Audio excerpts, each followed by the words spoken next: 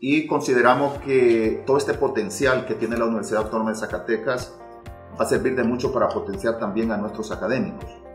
Conversábamos eh, anterior a esta reunión en lo referente a tener, eh, firmar un convenio muchas veces quedan en archivados, no hay proyectos concretos, pero tal como lo ha mencionado el rector, queremos iniciar con un posgrado en informática educativa, que es un campo del conocimiento donde nuestra institución solamente lo tiene a nivel de licenciatura.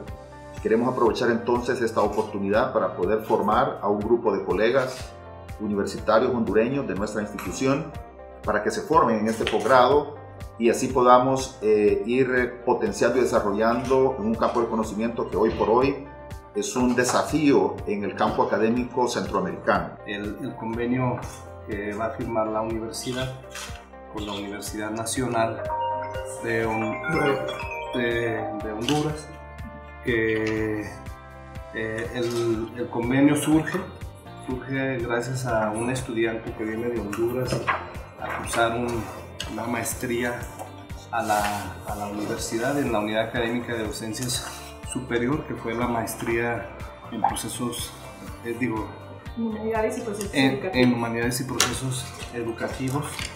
Esto nos dio la posibilidad de tener la interlocución con la universidad allá de, de, Honduras, es seguir teniendo un acercamiento con los países hermanos de Centroamérica. Es una beta que no habíamos explorado, que no habíamos trabajado. Y eh, el, el, proyecto que vamos a plantear va a ser una maestría en línea. Este, vamos a empezar a tener el contacto. Eh, va a haber intercambios, o sea, todo este convenio como es marco y es general nos va a dar la posibilidad de tener una serie de intercambios con la, con la universidad y creo que nos da la puerta de entrada hacia, hacia Centroamérica.